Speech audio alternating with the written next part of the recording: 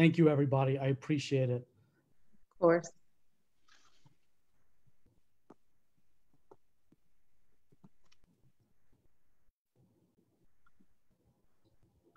So Matthew, you can control the mutes. I'm sorry? You can go ahead and control the muting. All right. I think, believe we're live. We're live, Good everyone. evening, everyone. Good evening. My name is David Lozano, and I am the Executive Artistic Director of Cara Mía Theater. And I'm proud to co-present this Q&A, New Policies to Support the Protest, with three other Black and Brown Dallas theater companies, Soul Rep Theater, Teatro Dallas, and Bishop Arts Theater Center. And we are honored to host our three guests, Sara Mokuria and John Fullinwider from Mothers Against Police Brutality, and Pastor Frederick Haynes, the third from Friendship West Baptist Church. Sarah, John, and Pastor Haynes have been working for years against police brutality. Their tireless work, combined with tremendous courage and resilience and passion from the protesters in the past two weeks, have brought the city of Dallas to an unprecedented moment. As of last night, 10 out of 14 Dallas City Council members have committed to divesting in the Dallas Police Department.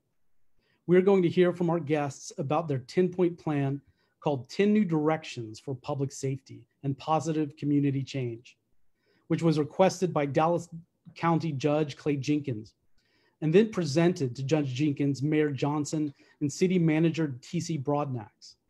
This live discussion is for all of you out there watching. It's for you to better understand the 10 point plan or how divesting in police works. So please feel free to send us your questions, comments, or feedback in the comment section of this live feed. We'll also be leaving some important links and information in that feed in the comment section. So to kick things off and to ask the first question, I'm going to pass the mic to Anika McMillan from Soul Rep Theater. You take it, Anika. Good evening, and thank you, David. Uh, this question is for John. John, the renewed attention to defund the police has come out of the recent cruel killing of George Floyd. In what ways can the 10 point plan address the use of deadly force?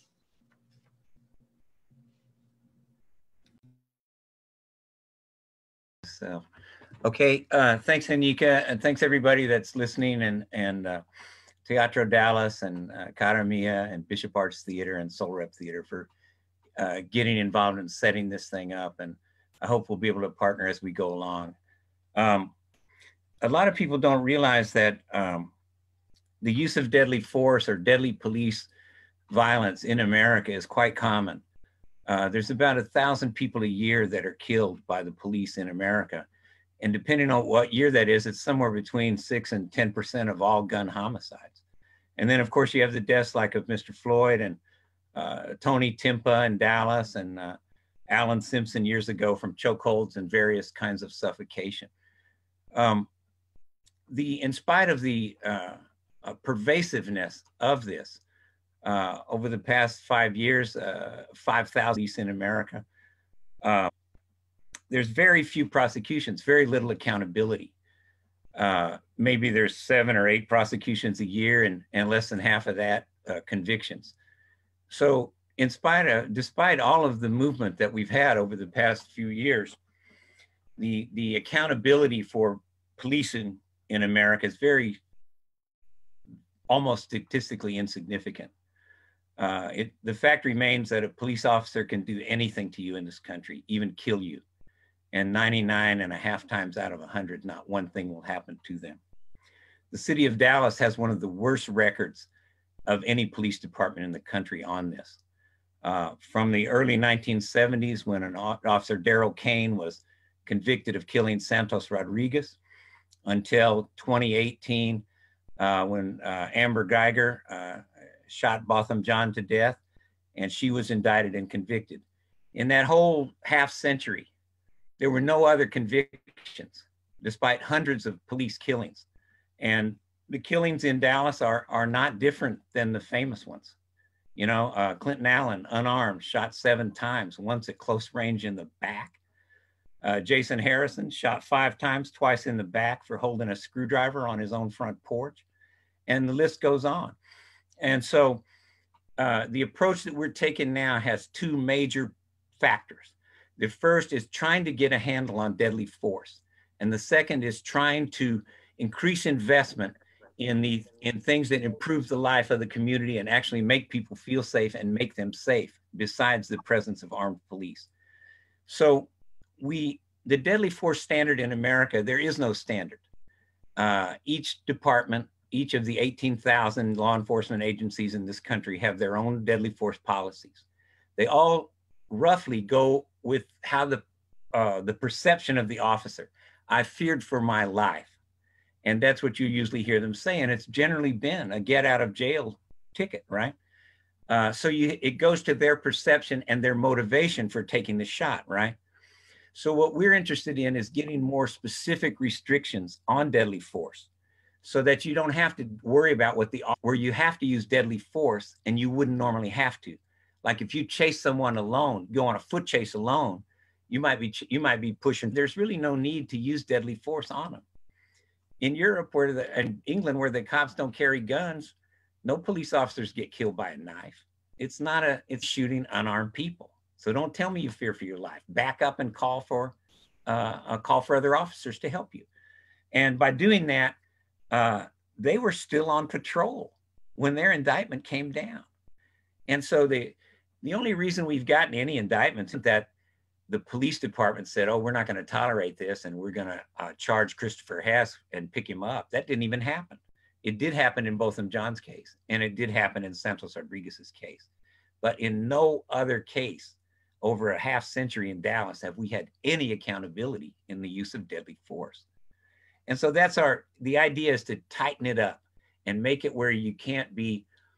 Uh, you, the the protesters don't want to be placated by some sweet talking about how, oh yeah, uh, we value Black lives too, but we're not changing anything we're doing, you know. Uh, so that's that's the gist of our our our uh, thinking on uh, restriction of deadly force.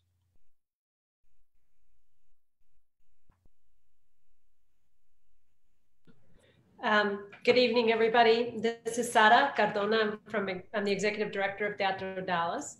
Um, I have a question for you, Sara Mokuria. Um, all across the nation, there's a wide discussion about defunding the police. Could you talk a little bit about what that means specifically for Dallas and um, uh, some of the programs that you have listed in this 10 point plan, um, why you've chosen some of the, the, the, programs in terms of investing, reinvesting in community. Uh, so what's, what's the plan specifically for Dallas? Thank you all so much for hosting this. Um, I am honored to be in the presence of some of my favorite theaters uh, the place that I go to and my family goes to for inspiration, for knowledge, for um, to be pushed, to grow. And um, I believe that um, institutions like you all are uh, the alternatives to the violence that we see in our community. So when, when, when we hear people say defund the police, um, and it seems um, people discuss it as if it's uh, something that cities don't know how to do. Well, the arts organizations can, I think all could say than um, the police. Um, and it, oh, something's going on. Um, can you all hear me? Us and uh, Cara Mía and Bishop Arts Theater and Soul Theater for uh, getting involved in setting. I'm going to mute for a second.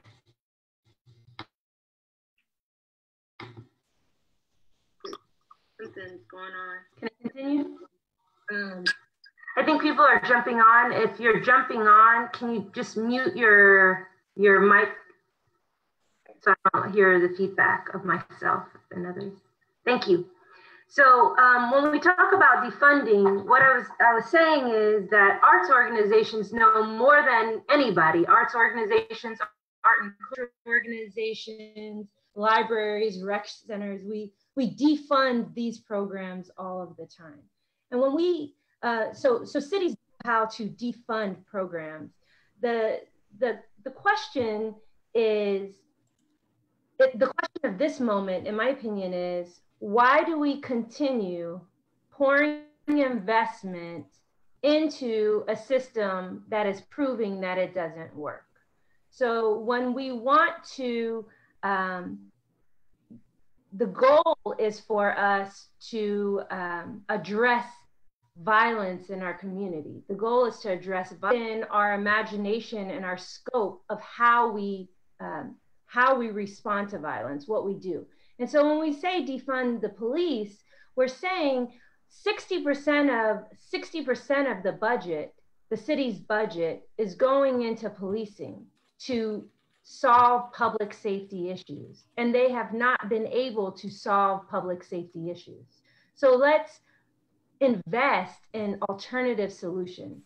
And the things that we, we mentioned um, in, in this 10 new directions are some of the things that uh, we think would be good investments, uh, good investments into the community, but they are not a uh, comprehensive list. I think what has to happen between now and um, when when the budget is written is that all of Dallas needs to be brought into this conversation, and and I think that um, I I think that the brilliance of our city, every age group, and I think that organizations like your theater should be part of this process in gathering what communities need to actually feel safe what do communities need to actually thrive?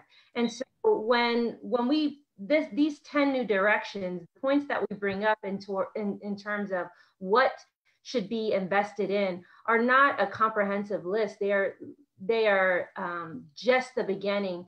And i hope that our city leadership um, chooses to broaden broaden this conversation and bring more people in so that seniors can say, um, these are the things that we need to feel safe.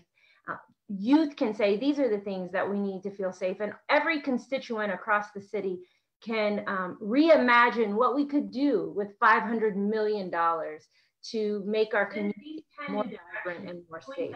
So when we say defund, defund the police, what we're saying is um, have the courage to invest in um, new and alternative solutions and stop continuing to pour money into an institution that is proven over and over again that it doesn't work. Thank you so much, Sarah. We appreciate that. Good evening, everybody. My name is Teresa Coleman Wash. I am the Executive Artistic Director for the Bishop Arts Theater Center. And Pastor Haynes, this question is for you. It's a two-part question. So can you describe the impact of the history of unaccountable police violence on people's lives? And what is the impact on our community on the deepest level from the killings year after year and nothing seems to stop?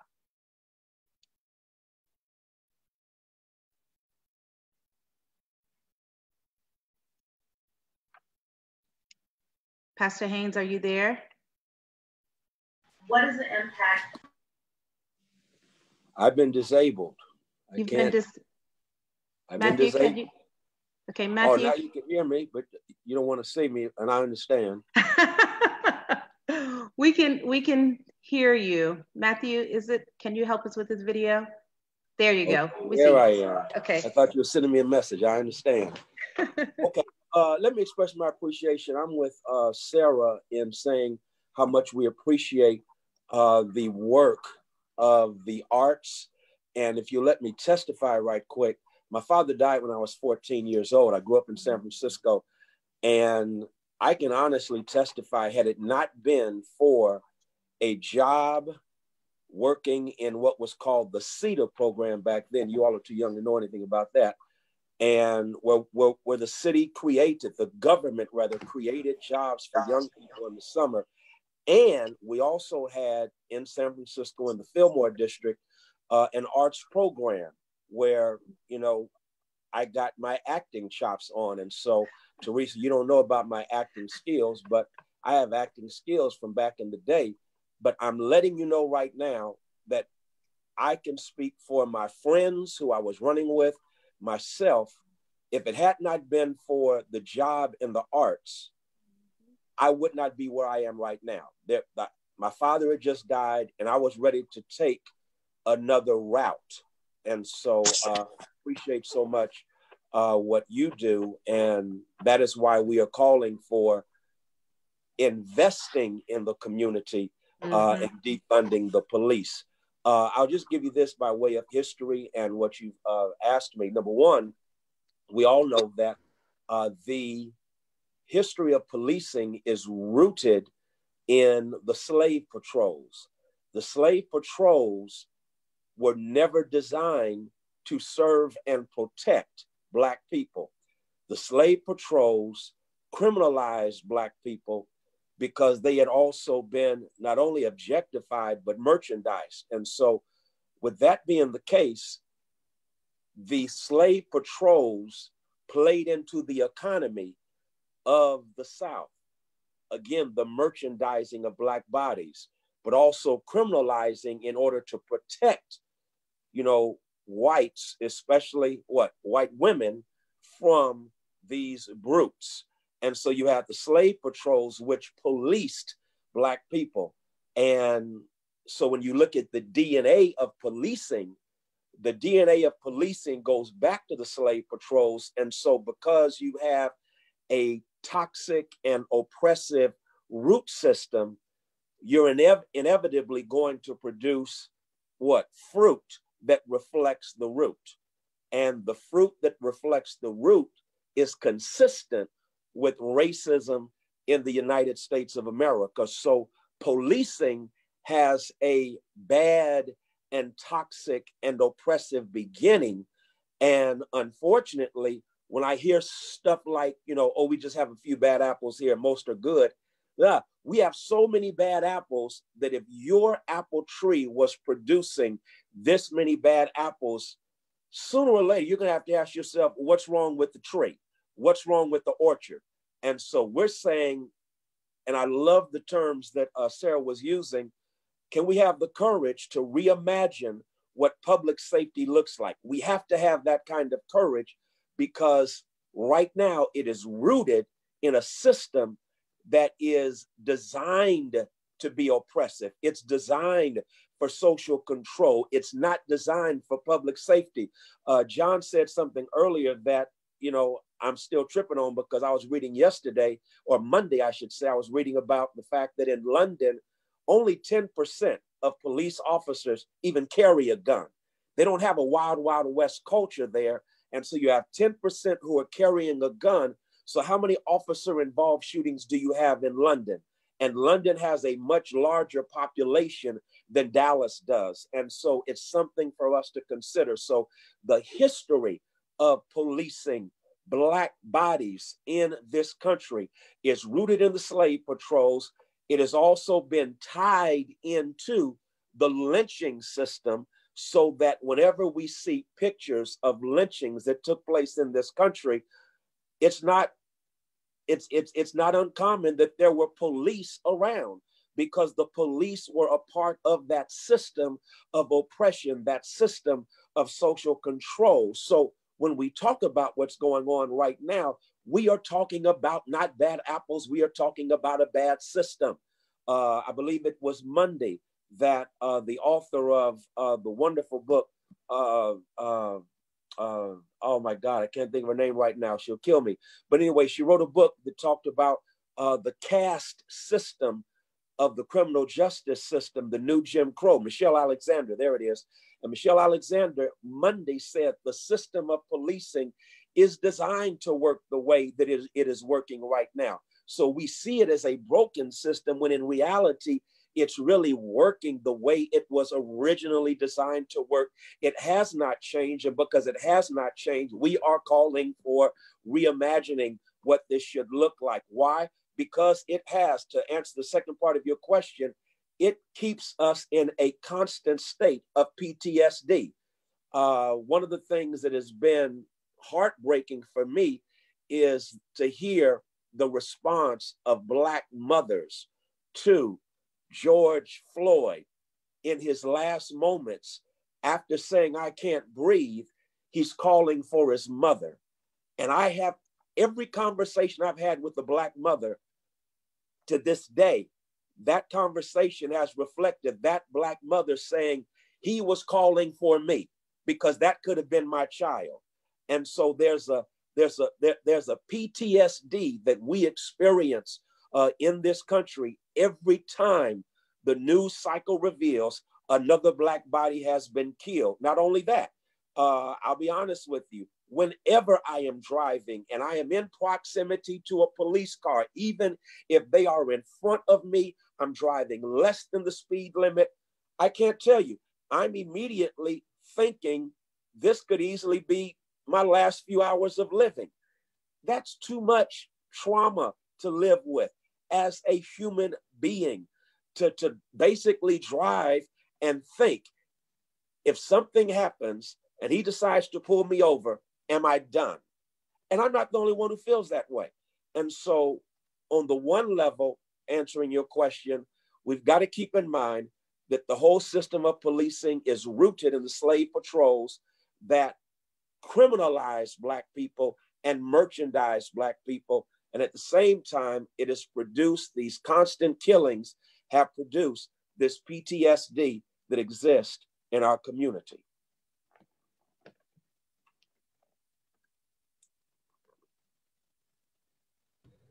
Um, this is Sara Cardona again from Teatro Dallas. Thank you, Pastor. I um, want to, now we're bringing out many, many things. Um, so I want to ask a question that's specifically about accountability and convictions and um, moving to a, a, place of justice. So this question is for uh, Sarah. What role do the police associations play in, in bringing police to justice? Um, what are the things that if we if we are recommending policies, um, how and these policies are very specific to help uh, you know um, guide more accountability.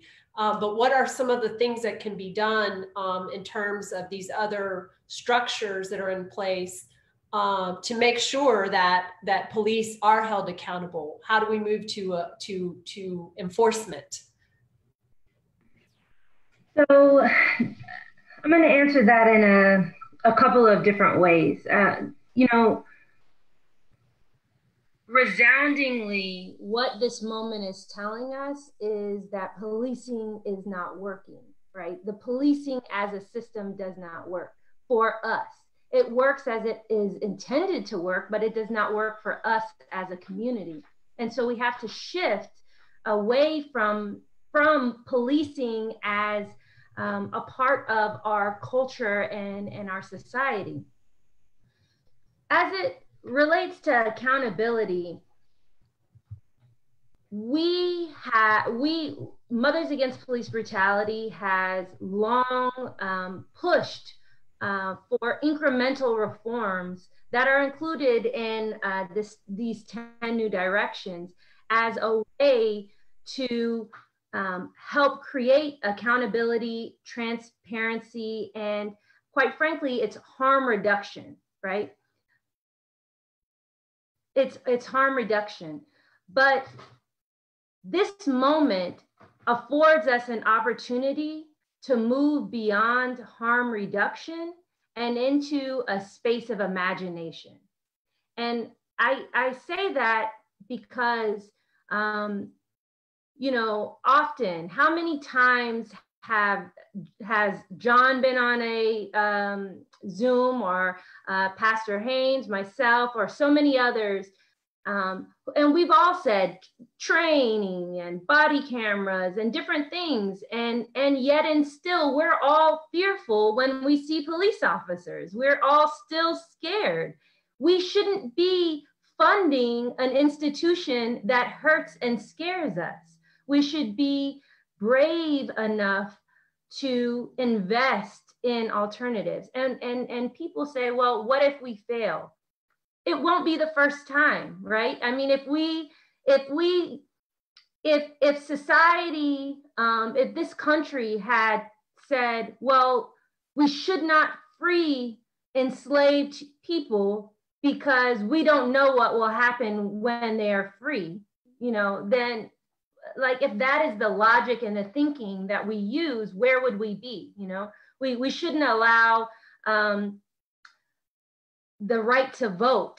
We shouldn't allow for women to have jobs or to um, have bank accounts because we don't know what will happen to society, right? Like we cannot allow fear to continue to be the driving force in our decision making. And as uh, in the last two decades, uh, as society has moved to more data driven decision making, the data is clear on what role policing plays in our society. So when we talk about DPA, uh, or the Dallas Police Association, and the role that they play in, in accountability, they, they are not part of that role. They, they actually play the exact opposite role. Who uh, created a, a, circle of prayer around Amber Guyger uh, after shooting Botham Jean in his own apartment and failing to render aid. That was the Dallas Police Association. Who offered expert testimony that it was justifiable for officers to run over Fred Bradford Jr., back back over his body, breaking every bone, dragging him, failing to render aid, and um, who, who, who testified in court that that, that is justifiable actions um, on, on the uh, part of police. That was the Dallas Police Association. So um, they are the antithesis. Uh, all, all of these um, police unions are the antithesis to what we are fighting for. And uh, I think um, a bold statement was made in the, the special council meeting held the other day here in, in Dallas via Zoom. And it was made by um, Council Member Kleinman, who challenged his other uh, colleagues to stop accepting money from the Dallas Police Association. And, and you know, the FBI doesn't have a lobbying body that, um, that pays different um, pays campaign contributions to different elected officials, we would find that to be a, a, a gross miscarriage of, um, of our system of, of transparency, of neutrality. And so I think that we have to remove the chokehold that the Dallas Police Association has had over uh, our elected officials for decades. I think um, John wanted to add something to this idea of, um, you know, the difference between just um, giving a policy recommendation and then actually having some structure, as you're saying, to enforce it and dealing with um, this this system that is obviously, uh, you know, it's it's it has built-in racism. So, go ahead, John. I just I just wanted to uh, build on what Sarah is saying um, to, to have a new approach to policing, uh, which is to divest from the way we police now and invest in other aspects of community safety. This is a process that doesn't happen overnight. And so we have to we have to hold the police accountable for the policing they've been doing and that they're doing now.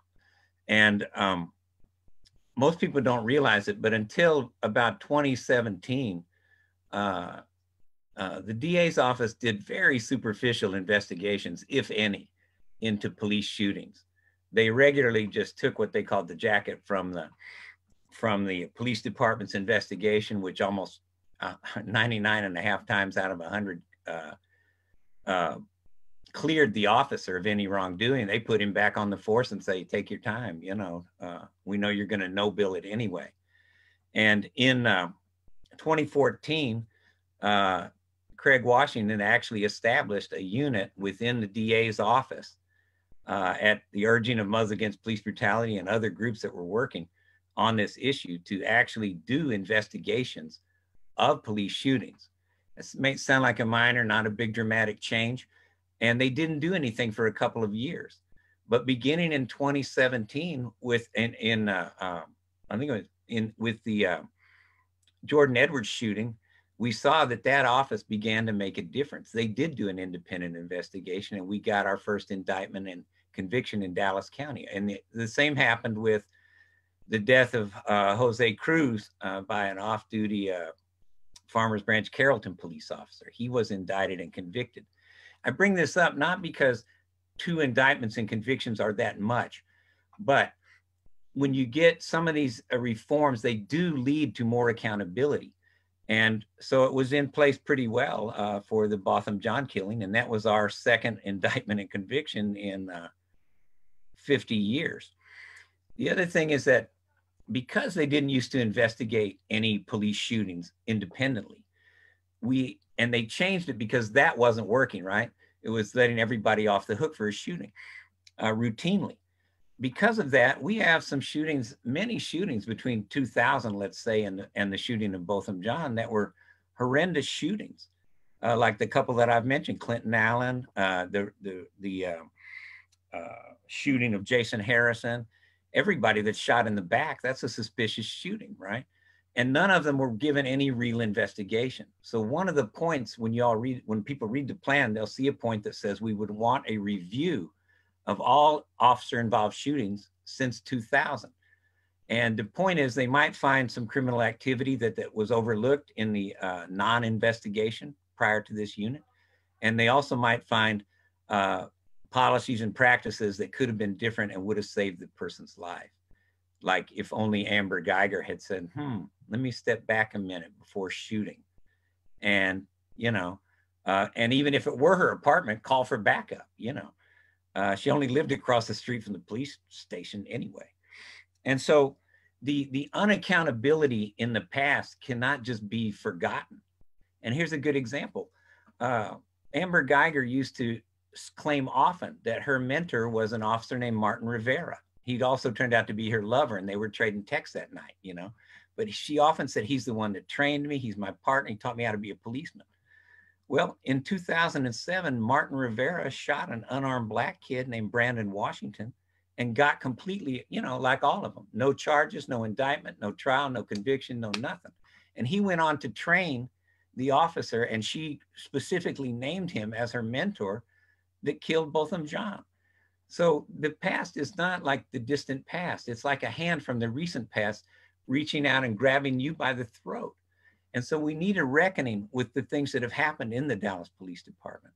And then we need to find other methods uh, to hold the police accountable while they're policing, you know, and uh, the police function has got to be uh, held more accountable. And, and it doesn't take away the idea of moving to a, a, humane system where policing is minimized and you have less encounters with an armed police officer uh, doesn't uh, negate the need to hold these cops responsible now.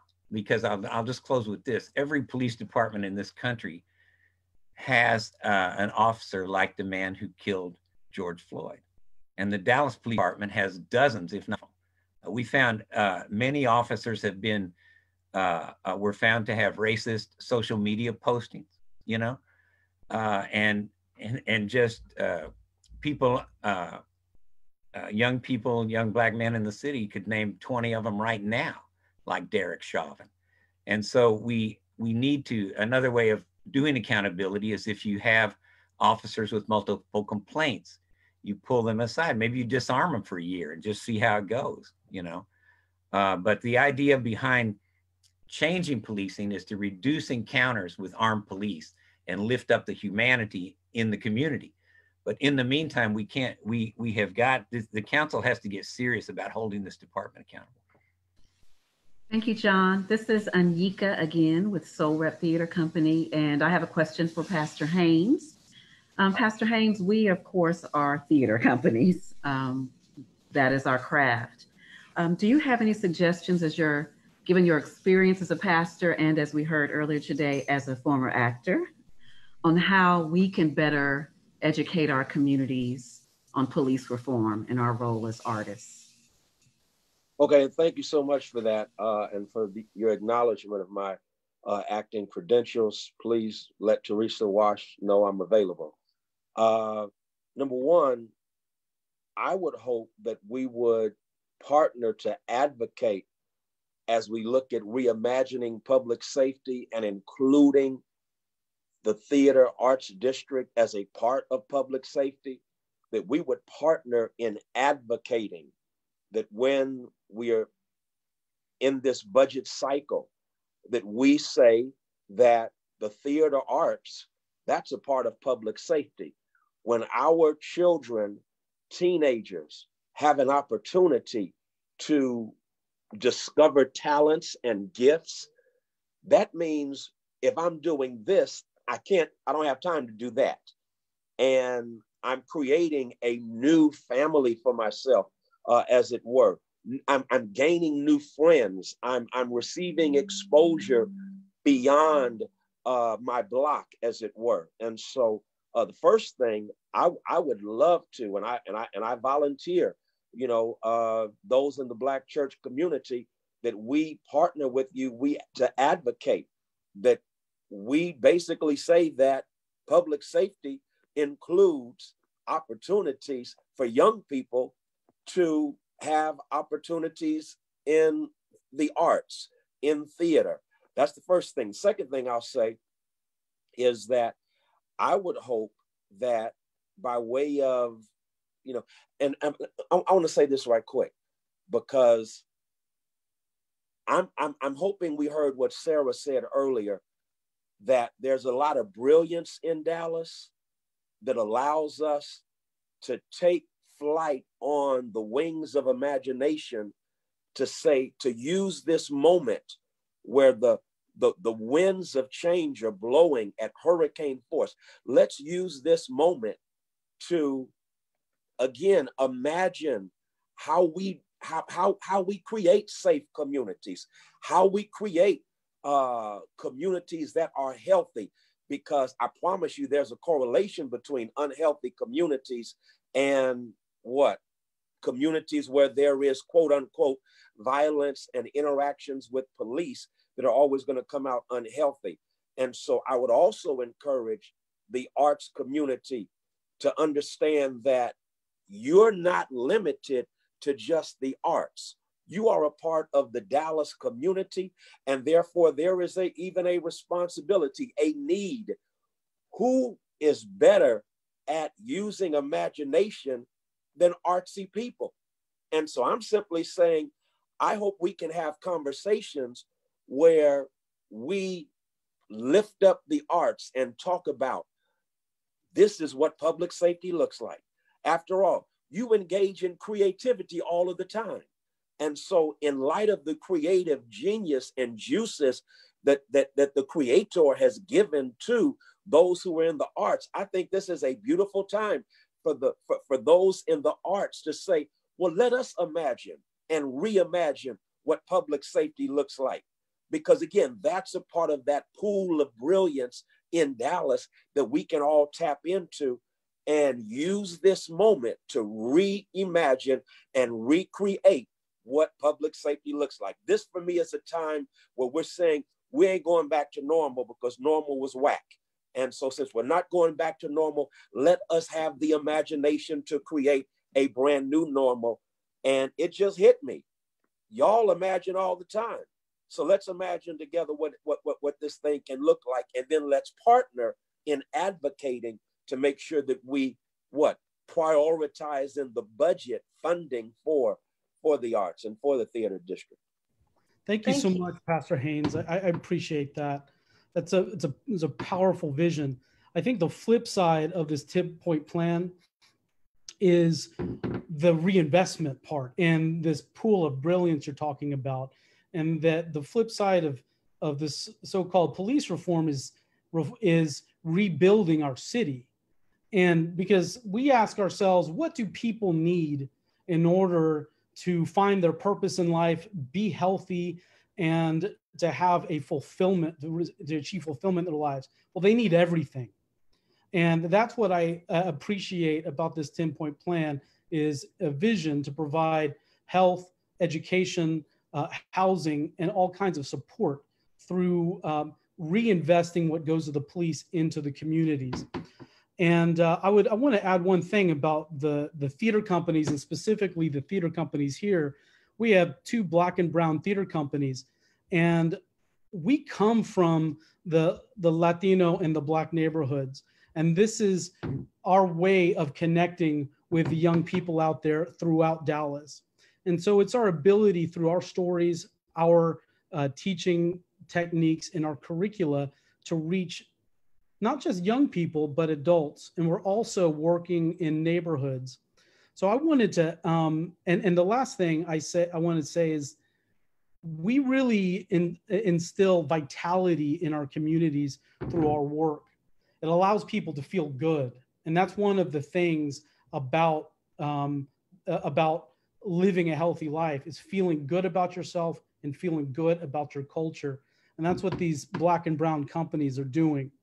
I want to open that up to the other groups. Uh, from Jeff Hurst, he asks, could the artists elaborate on the ways they impact our communities in terms of public safety?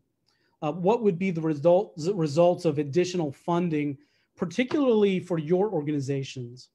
Um, so, uh, how about Anyika? Well, I want to hear from all three groups, but Anyika, why don't you answer that question, and then we'll hear from uh, Sara and then Teresa. Great, thank you, David. Thank you for that question, Jeff. Um, I think um, as we look to defund the police, which is a terminology that we're using now, and, and correct that, um, as we're discovering, we should reinvest in things that are preparing people, that are inspiring our community, that are creating a more healthy environment for our city and our citizens. And of course, the arts accomplishes that. Um, like many um, arts organizations of color, uh, we traditionally are underfunded um, and, you know, lack a lot of resources in larger arts organizations. So I would hope that moving forward, um, that some of this increased investment that we might see uh, might be to ensure that organizations like ours, whose missions specifically are to uh, better our communities, to educate people on our the experiences of our people throughout the diaspora, um, will be valued more in our city. We have to, money needs to go to, towards things that are valuable to our city. And we all feel like um, we as arts organizations, um, we as artists um, provide quite a bit of uh, beauty um, to our artistic landscape. And it is our responsibility um, to continue to strengthen organizations so that we can do more not only through performances and supporting local artists, as Pastor Haynes shared earlier, employing young people, employing local artists, developing new arts patrons, developing that next generation of artists themselves, um, educating, going into the schools that are struggling that do not have arts programs, allowing us to really do that at a more robust level, um, I think we'd see a different community.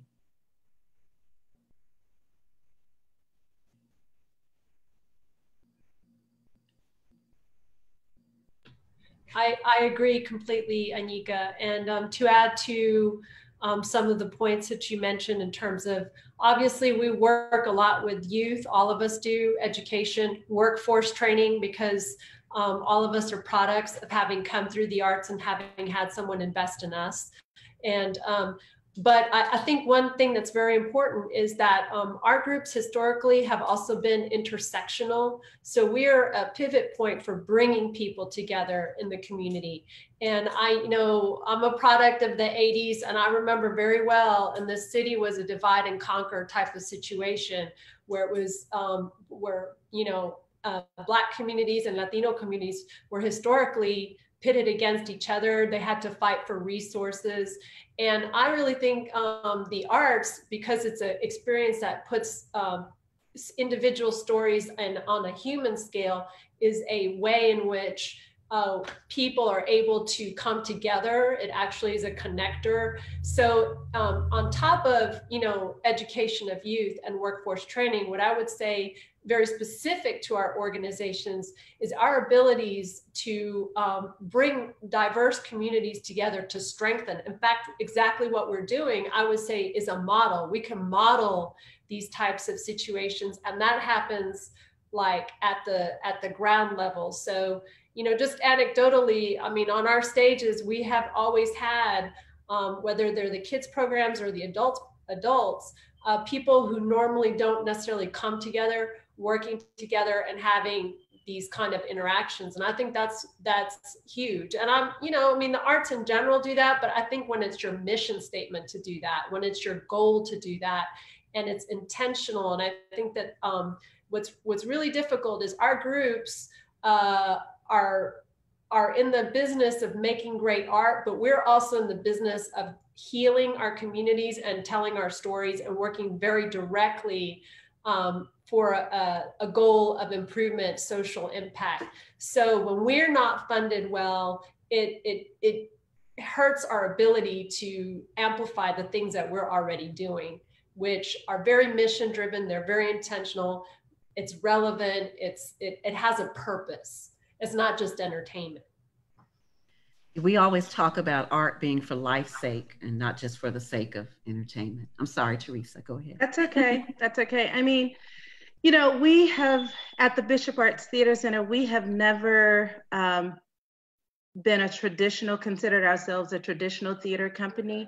We've always touted ourselves as a neighborhood resource center, whatever that looks like. And so uh, Pastor Haynes is absolutely right. We are so much more than a quality of life issue. We are a public safety issue. When we're taking kids off the streets and placing them in a productive, constructive, controlled environment during the extended workday, and during the summer months, we become a public safety issue. And so um, I certainly, I think uh, the four organizations, theater companies that are represented here, we ha have always considered ourselves as a public, you know, a, a public safety issue. But educating our elected officials and the public at large you know is is a different story we have over 800 people that are attending this webinar and yes theater companies are more, much more than uh, a place where you can go to escape or see a great show. We're literally taking kids off the streets. And so I think that that should be, um, that should be uh, definitely top of mind for everybody. I have, this is Anyika again. I have a quick question for John regarding the police unions. Um, do you have any thoughts on how we can keep police unions from curtailing the defunding of the police?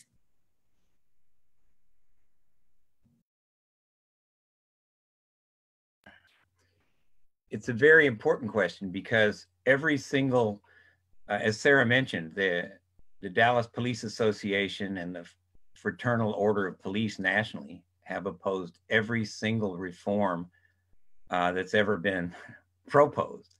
And they have opposed all attempts at, at any kind of critical oversight of what they're doing. The, the Dallas Police Association's endorsement in a local election uh, is probably, except for the real estate council, no endorsement is, is sought more uh, earnestly. Uh, they want that on there.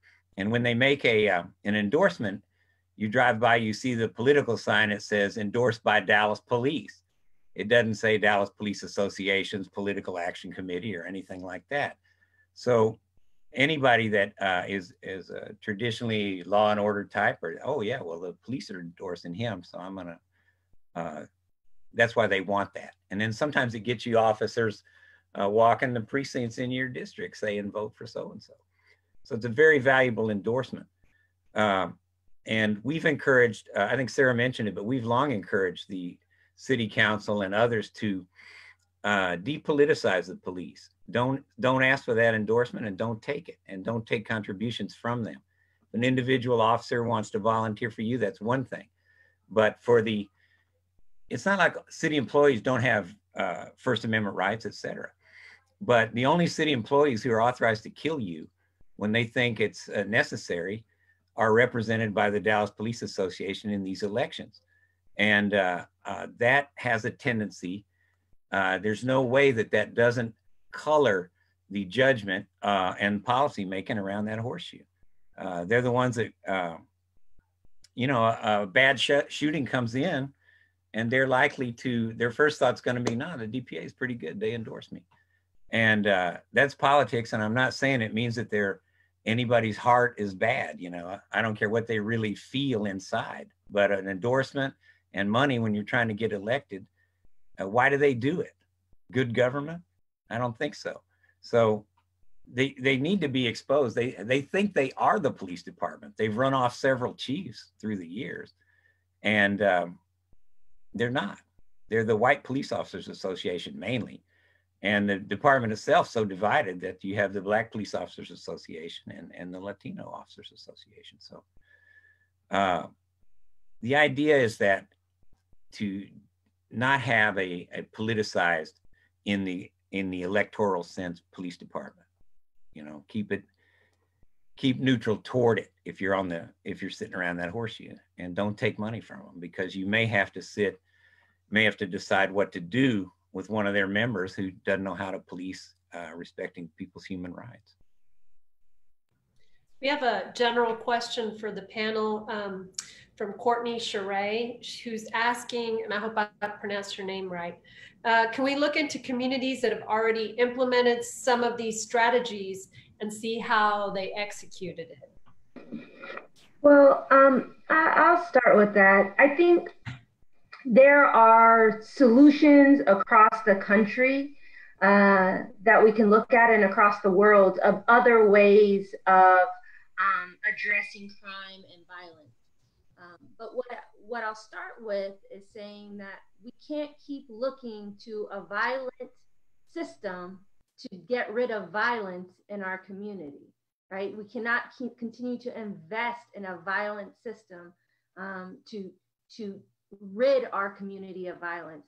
And especially over the last two weeks with the protests, you have seen that um, un, instead of undoing um, uh, harm, the, the police have been creating harm uh, on, on, the streets.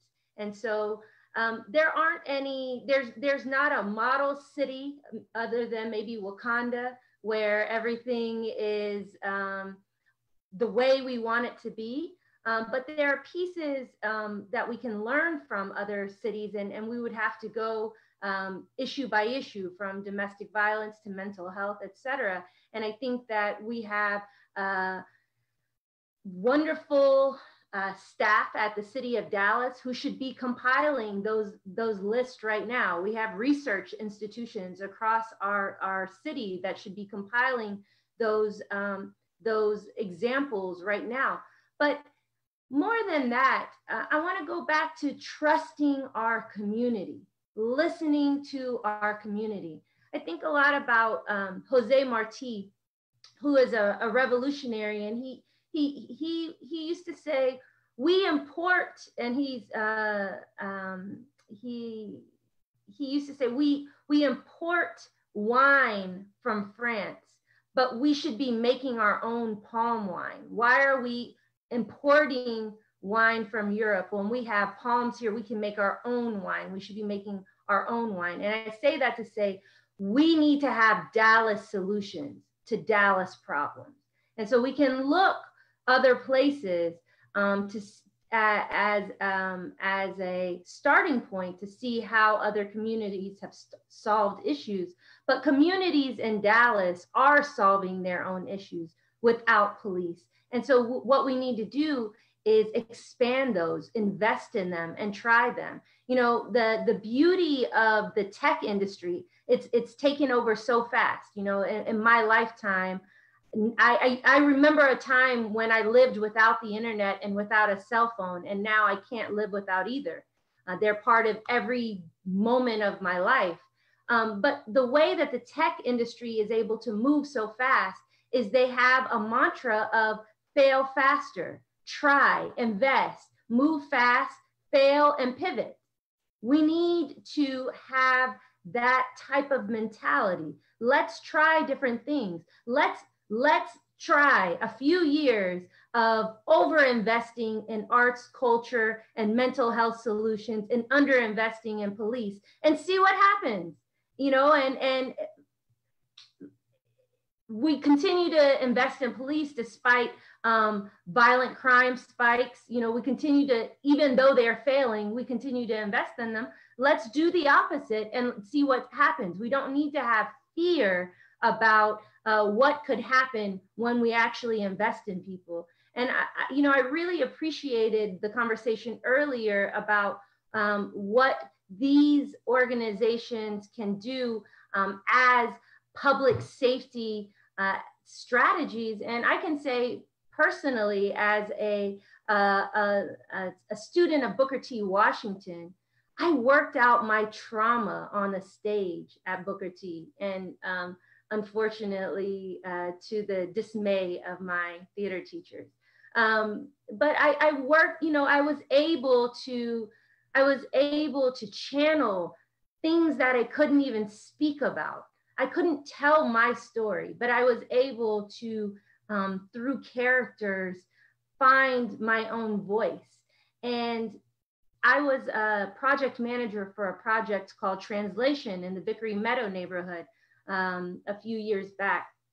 And I remember a lot of the events that, which is considered a crime hotspot. Um, I remember police officers attending our events, one particular event called the Lucky Pot, where there were over 500 community members having a talent show and, and um, a um, potluck. And I remember the police officer saying to me, wow, you know, I, like I, I've arrested some of the, those students and I didn't know they had that talent, right? But you really can't know what kind of talent people have when you're pulling them over for the smell of marijuana, when you're arresting them, when you're yelling at them, when you're firing rubber bullets at them, when you're firing canisters at them. That, that doesn't cultivate the types of relationships that we need in, in our city and across our country. And I think that theaters provide a space for us not only to um, find ourselves, but also to understand others. So much of the pain and violence that we experience in our communities are driven by fear. And fear often is because we don't know. But um, you know, you can you you can go to a play about people that you don't know and feel their story and understand their story and understand why people make the decisions that they make. And so there are so many powerful ways uh, that theaters and um, the arts in general and so many other things um, are public safety interventions. So to sum that up, um, there isn't a model city to, to point to, but there are small interventions across the country that we can look at and we should be looking at. And um, we are done with the day where senior uh, dental services are pitted against rec center uh, passes or um, investments into the theaters. That's that's done. We are not going to fight over crumbs anymore. We are taking back our money. That this is our money. This is this is this is our city, um, and we are uh, no longer sitting quiet and and um, as as our money is is not invested in um, positive ways. Thank you so much for that, Sara. Um, I, again, we're really looking at, like Sara says, taking over our taxpayer money, and so that we're not pitting services against each other. I want to bring up a question from Diane Hosey. She asks, what would it take to create that platform for our four theaters to provide these services and support for public safety? What support would we all need to make the case to City Council that our theaters can serve safety? I think we need uh, our, our constituents and everyone out there to contact City Council with this action plan that we put in the Zoom chat as well as the Facebook chat, which is to write a cover letter that is personalized to the mayor and all city councils and saying that you support the 10 point plan to defund the police and reinvest in our communities. And in your cover letter, tell council that you want to support the B, BIPOC theaters such as Cara Mía Theater, Teatro Dallas, Bishop Arts, and Soul Rep to uplift our neighborhoods through increased funding for educational programs in neighborhoods, through community organizing and community building programs at our theaters, as well as supporting our main stage plays. All of our work is meant to uplift the lives of Black and Brown and really all people in Dallas and uplift the lives and the confidence we have in our own cultures and our native tongues. So if we follow this action plan and we specify in our cover letter what we want to support, and if you support this kind of platform for POC theater, uplifting the lives of our communities, council will listen. And it's going to take a critical mass. And it will also take people in different positions. It will take everyone. So, and it's important also to spread the word about um, this plan to your contacts. You may have 100, 200 contacts that you may want to reach out to. That's how we're going to make a difference by flooding the mayor and city council. I do want to, uh, I, I want to ask two more questions before we wrap up. I did want to give the opportunity to the theaters. Um, what do you think would support the case to city council that our theaters can support public safety? Well, I would I would like to point out um, that, and I'm sure this is true for each of our organizations, that because historically we have um, been cut off from uh, sources of funding or have had to struggle for them, we are very resilient and excellent at partnerships, unconventional partnerships. And so all of us have partnered with entities that are already doing social service work. And so rather than just being on the track of producing art, um, you know, for example, Teatro Dallas has worked um, in the past with organizations such as Heart House that are working with incoming youth in Vickery Meadows, immigrant uh, communities. Um, we partnered with them in order to go for funding. Uh, we partner with, um, we've partnered with organizations that are providing um, arts to homeless families. Um, we, so so as theaters we've had to find ways to already work with the health industry with the health system with um, uh, institutions whether they're educational after school programs. So when we talk about how um, our organizations are actually helping mitigate problems in the community and providing um, safety. I think we can actually you know provide excellent testimonials as to our collaborative work within the communities. We step outside of our theater buildings all the time and we go out into spaces non-conventional spaces whether they're literally restaurants or libraries or parks or homeless shelters or hospitals and all of us have been in those spaces producing work. So I think that's very important to point out that we have a distributive network that goes into all these different places. I echo what Sara says, but in addition to that, I challenge everyone to look at public safety, safety in a diff- through a different lens. What does that really mean? It's not just public safety. We want our public to have accessibility, access to the arts. Every citizen every child, every household, or what have you. We need to look at what creates a healthy, holistic um, community for a city. And that is by dismantling these systems, um, such as defunding the police, that are preventing equal access for all people to art, to quality education, to all of these things. So, yes, the arts plays a role in enriching lives. No one can deny that. But I look forward to the day when everyone has access to the arts. And, you know, and, it, and, you know, historically in Western society, it's become, it's been this elitist thing, and that needs to be dismantled. So public safety is public, let's look at that as public access. And as uh, Pastor Haynes was saying earlier, how can our citizens feel safe to just be and have, uh, and, and be equal contributors and uh, participants in our society. That is what public safety is. Exactly. Thank you so much for that, Anyika. And, you know, the reality is we all have a track record. We've worked uh, with the Dallas Independent School District, City of Dallas Park and Recreation Center.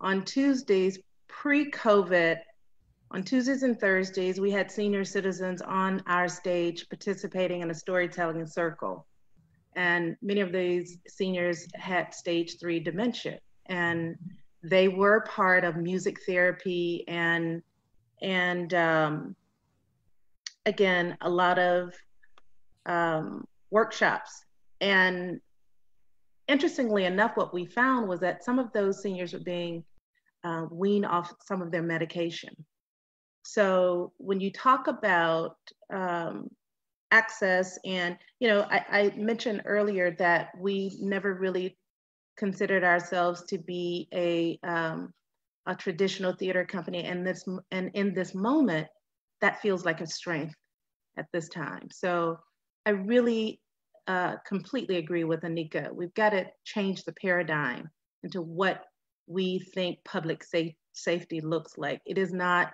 a bunch of policemen on the streets policing, over policing our uh, Black and Brown kids. Use us, we are a resource.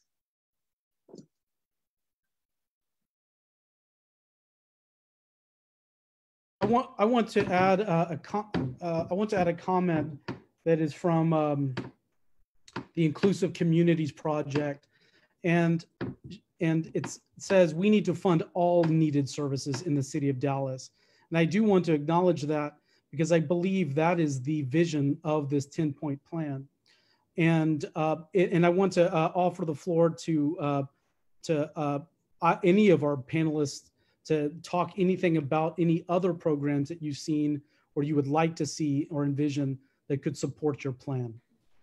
So I'll just say um, quickly uh, that the the the model so far has been um, criminalize homelessness to deal with uh, the unhoused population, criminalize poverty instead of dealing with um, the income inequality. And so this this philosophy, this this different way, this different approach that we are talking about is saying recognize what the root cause issues in our communities are and and find the right solutions for them. And so we know just off the top of um, just just top of mind that that includes issues around housing, transportation, infrastructure, art and culture. We have to have a comprehensive viewpoint. And um, this is just a beautiful moment because instead of us overinflating, continuing to overinflate the police budget, we are now saying we can reimagine what our society and our community can look like and what actually keeps us safe, what actually are um, the right interventions for harm and violence and crime. And I think that um, none of us uh, should have the solution in the moment. It's going to take time and a process for us to all dig deeply into understanding uh, what these issues are and what the best solutions are.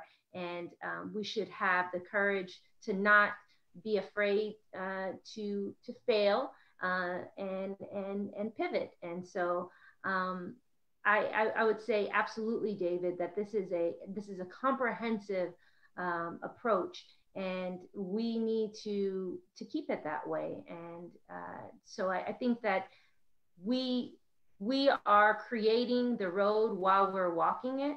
We don't need to have all the solutions right now to know the way things are operating right now is not the solution. Thank you so much, Sara. We're going to be, we're close to wrapping up. I do want to quote one of uh, the comments. Public safety is feeling like you have institutions where you can share and fellowship in a safe space. I think that's important to create a city where we feel safe, where we can be creative and we can thrive. I want to uh, ask John this final question. Um, what are our next steps? And does it involve, uh, and I'm going to combine a couple of questions. Um, what are our next steps? Because we had one person ask, do you recommend more downtown protests, such as car caravans? and then what do we how do we engage with council uh, thank you on next steps, let me address first the uh, the 10 new directions here and the discussion we've had tonight. Um, it was the, the crisis of unaccountable police violence that broke this bubble over the budget. We've done a lot of budget work in the past, and, and uh, just last year, the group Our City, Our Future did a good analysis of the budget and brought a lot of these issues up. But they weren't getting the traction because the crisis of public safety, which is uh, uh, that over policing, racial profiling, and police brutality are not only unjust, they're not making our communities safer, you know, and they make the whole city unjust. And they don't even relieve the anxiety of the uh, wealthy homeowner who still feels like they need to hire an off duty policeman to guard their neighborhood. So the whole public safety model is, is really in crisis. And it was the violent crisis of police brutality that brought us to this point. So the 10 points address both aspects of this. They address unaccountable police brutality and violence, and they address a vision of a more humane and uh, uh, prosperous community for everybody. And looking at public safety not as what do the police do, but how do we create personal and community well-being. And so because the document, as we wrote it, not perfect, of course, does address the two aspects of this crisis. We want, we the first thing we'd like people to do is to download the document in PDF form, then write a short cover note saying you support it, attach the document, and then explain enough about yourself so that it doesn't look like a form letter. Like I'm, I'm involved with Teatro Dallas. I'm involved with Bishop Arts Theater or Cara Mía or Soul Rep. And I know the importance of the arts. And I also support these 10 new directions. And one new direction I support is more funding for the arts and less to uh, over police a neighborhood. And so that's something you can do is it's, um, we begin with sort of low level activism is flooding the council with emails and the mayor on this. And then throughout the summer, uh, we want to engage the council directly. And this can be through uh, ongoing protests. I wouldn't tell anyone to stop protesting police brutality and systemic racism in this country because uh, whatever we do, we can always do a little more and we, we can't ever do enough on that front. But for people who want to get directly involved in the nuts and bolts of this budget process, we I, am going to recommend that we uh, take our city, our future as sort of our umbrella and that we create like the theater groups, go ahead and create the, the theater budget that you want out of OCA. And we're going to create the cuts that we see are important in the police department, you know, through MAPB and the other people that work on that. And then we come together with kind of a community budget as a uh, as a budget that shows what we want and what we're not going to settle for less for. And you may have enough uh, people who who once they start getting demagogued on the crime issue, uh, they're not going to cut the police department very much. I'm just a little realpolitik here. But even if they don't cut it, we want this. So give us parity, you know. Uh, and I think that uh, I think the, we'll have more success uh, this time around on the budget. Uh, 10 council members say they're open to it. And uh, I think that that's a place to start. Uh, David said that he would put up on the on the site um, and our city, our future has it too. And we can put it up uh, on MAPB side as well. But easy access to the council via email.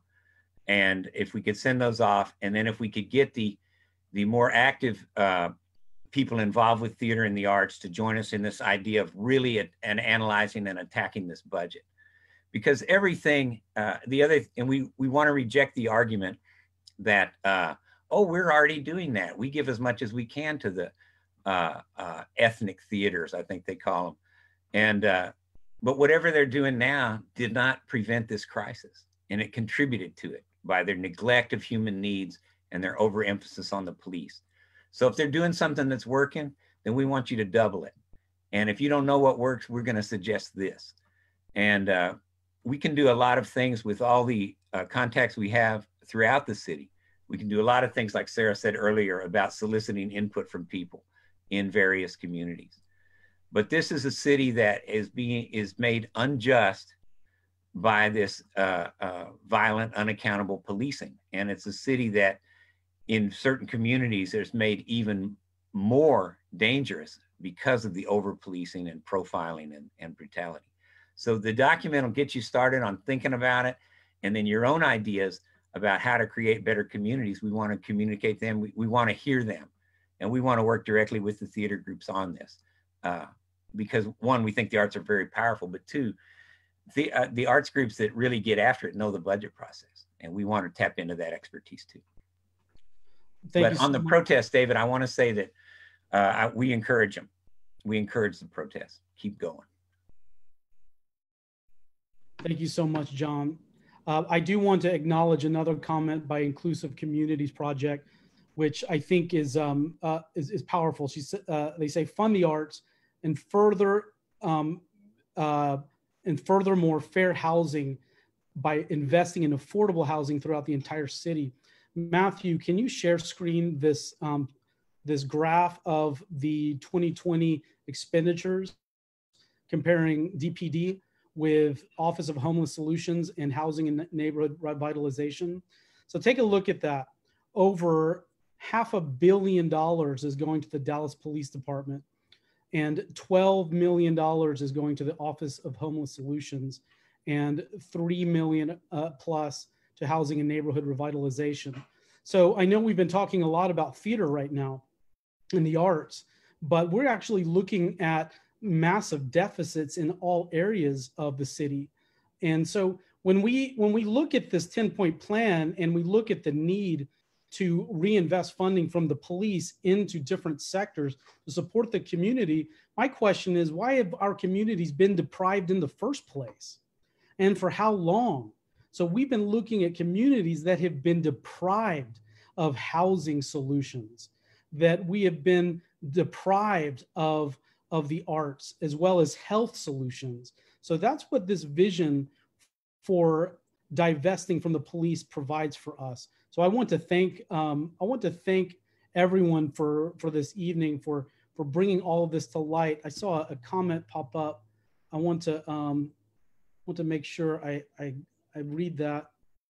Oh yeah, uh, Betsy says I'm freaking at the Dallas budget priorities graph that's why I wanted to share it. It's such a powerful one. Well, well, Matthew, if you can also put that in the comment section. So I just want to end um, by um, repeating what we said before, which is our action plan is to send uh, emails to in mass to the mayor and all council members and saying that we support the 10 new directions for public safety and write your own cover letter and tell them what you support do you support providing uh, uh, staff for health solutions? Are you looking for to reinvest in contact tracing during the pandemic? Uh, do you want to support housing? Do you want to support the arts? Because this is a vision, and again, which we're giving everyone. Um, uh, we want to we want to give the people of Dallas everything. When we ask ourselves, what do children need to succeed? The answer is everything. And not just some children get everything, everyone. And that's the vision that this 10 point plan has. So um, I want to give a shout out to Lee Doherty for making that graph uh, because that graph uh, just kind of tells it all. And I believe the arts budget is about 18 million.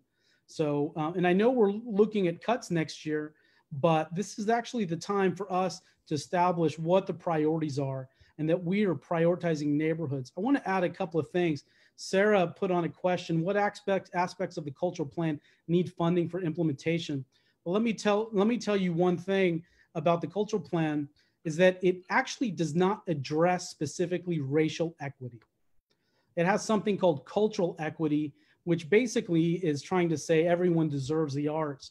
Racial equity is actually providing more resources to those groups who have been historically deprived of resources giving them more in, in order to provide more support. And now is the time when our culturally specific Black, Brown, and uh, Indigenous arts groups need uh, financial support by focusing on racial equity. I'd also say supporting the um, funding in the neighborhoods. Right now, the funding in the neighborhoods during the pandemic, as a matter of fact, during the fiscal year, has been harder for us to um, to receive um, for various reasons. So it's important that we tell council we want racial equity to be added into the cultural plan because it isn't right now. And we also want to fund the arts in the neighborhood. So again, uh, I want to thank everyone for being a part of this. I know that John just had to leave, but I want to thank Sara Mokuria um, for uh, being with us tonight and for your commitment to this work. Do you have any final words that you'd like to say? I was just going to say, you know, thank you all so much. This is just the beginning of this conversation. We need to continue the conversation. Uh, a beautiful thing happened.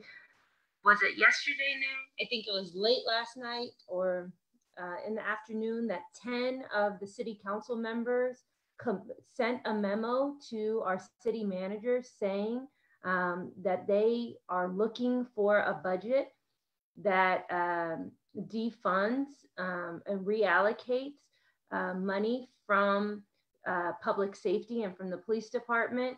And, and they listed the priorities that, uh, to David's point, um, remedy uh, past intentional actions um, that, that uh, furthered segregation and inequities in our community. And so um, we all need to, right now in this moment, imagine uh, what our communities need and want and desire. And then we need to be ready for, uh, ready to stand and fight and, and push and by all means necessary with all strategies uh, to make sure that those priorities are reflected in our budget. And I would like to add, uh, I would like to invite, I think Pastor Haynes has had to step off, but I would yes, like to. Yes, he did, um, David. He had um, Bible study. He had Bible study today. Of course. That's great. Well, I would like to invite the, the theater companies to uh, provide some last words. And I see Tina Parker there as well from Kitchen Dog Theater. And if you'd like to say a word, some words, uh, I'd invite you to do so um, however you'd like. Uh, so whoever would like to say a, a few last words before we close the conversation. Teresa, you want to begin? Yes, I just want to thank everyone for um, for attending. We, you know, this as emotional as this time is, it's also exciting for me. Many of us have been waiting to have this conversation and reimagine a new sector, a new city, and a new reality for Black and Brown people. And um, I'm a mother of two boys, two Black boys. And so this is personal for me. Um, so I'm just excited to partner with uh, these other Black and Brown theater companies. And also, I'm so grateful that um, to have the audience tonight and, and let's get to work.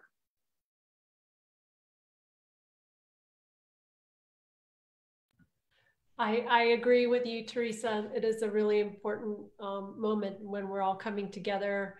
And I just want to remind everybody that the city of Dallas is actually approaching between our collective communities, we are a majority. So um, while you know we use this term groups of color, the reality is even that terminology is couched as us in relation to the status quo, which has always been white.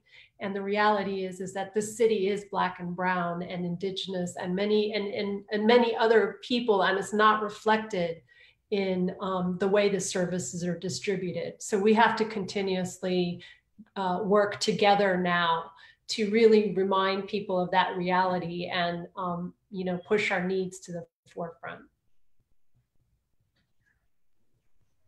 Anyika, would you like to share anything?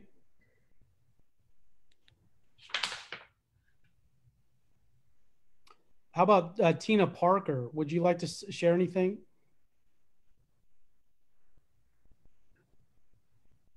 Tina Parker from Kitchen Dog. Oh, sorry, I was muted. I, I just wanted to say thanks. Sorry, thank you. And I just, I noticed that Justin posted from DG, DG. I mean, we're with them as far as same, echoing what he's saying right there, as far as, you know, finding just we just here to listen and figure out you know what what what I can do and what Kitchen Dog can do to to push this forward because it's important and I just really appreciate you guys hosting this forum. Um, uh, I'm just ready. To, we're ready to do the work. So call on us. We're here. We'll do. We will definitely do that. Thank you, Tina. Uh, Justin, would you like to say anything? Hello. You want to be on there? Well, yeah, here we are. Um, thank you so much for having this conversation. Thank you so much for being amazing leaders in this community and uh, for taking a very strong step forward in terms of informing people about what to listen for and what to pay attention to, and uh, really allowing Dallas artists who are really all about learning uh, an avenue for learning. So, thank you. Yes, thank you guys so much for this. It was really informative and educational. Thank you, you too. I also want to call on uh, a, great partner of ours, um, Billy Lane from After Eight to Educate. Uh, Billy, can you tell us a little bit about your organization and how your organization in your field can support this vision, this 10 point plan? Yeah, David, I appreciate it. And uh, hats off always to Sara and John uh, Fullinwider and Reverend Haynes. Uh, I really, really appreciate and love the reimagination. Um, and uh, of course, I got to say, I'm a big fan of uh, Teresa Coleman Wash. My daughter attended summer camp at uh, Bishop Arts Theater, so big fan of yours. That's right, that's right. At all the theaters. Uh, and so after Eight to Educate, we definitely want to uh, talk more with uh, the theater companies and get behind this 10 point uh, vision. Um, ours is directly related again to public safety because we are not a law enforcement organization. We are an organization that provides safe spaces for young people who are who don't have a place to go, particularly in the hours uh, after eight o'clock, which, which is why we're calling after eight to educate. Uh, uh, we don't want to see uh, young people walking the street and just trying to find a place, you know, a safe place. We provide that safe place at the Fantasy Harris Youth Center, which is in Fair Park. So, uh, David, I definitely want to talk, uh, just continue this conversation. All right. I, I, see one more person out there, and I want to give her the opportunity to speak. I see Morgana Wilborn, Director of Education at the Dallas Theater Center. Morgana, do you want to say anything before we head out? You did expect this coming, so I'm not going to force you. But uh, if you want to keep your screen screen name up, it's up to you. But uh, we collaborate a lot with uh, Morgana, and Morgana's teaching our high school student leaders in our School of Yes. So I want to thank everybody for being here uh, on this call. I know we went over, but we had a lot of people join the call tonight. And so uh, I just want to say uh, thank you. And here's my wife, Frida, who's been um, uh, involved in this work for a long time. But again, we want to get behind uh, the work that um, Sara is, has been doing for, for several years. And we also want to acknowledge the um, organization that um, that that she has begun our city our future this is very important that we connect with our city our future this forum was meant to connect our our our constituents and our networks into this conversation that sara has been having for several years that is coming through the 10 point plan but sara has also begun our city our future which is a, an activist organization that is advocating for this change. Go ahead. Yeah, I just I, I can't. I, I appreciate um, credit and praise, um, you know, and applause, but um, I can't take credit for our city, our future. It, it really is a collaborative effort of um, indigenous, Black, Latinx, uh, women, and gender nonconforming people who have all come together. And so, it, you know, I, I, I am just a, a, a co-lead amongst uh, a wonderful and amazing people. And um, this last week, you know, to also be in uh, collaboration with the um, coalition that's called In Defense of Black Lives. There's so many, there's so much work that's happening. And I have been working on this for a long time, but I've been working in partnership with people like you all and with people like them. And so um, I, I believe that this moment belongs to all of us. Thank you so much, Sara. Well, I want to thank everyone who's been involved in, in this. I want to thank our our guests, of course, and and the theater companies. And this will continue. Um, and the partner partnering theaters will continue to communicate out and stay connected with Our City, Our Future and Mothers Against Police Brutality. And there are several organizations and people out there working on this. So this is going to take a citywide effort. So uh, it's it's time to really uh, ramp this up. And uh, so thank you all for being a part of this and stay in touch. Have a good night. Thank you, David. Thank Night. you. Good night.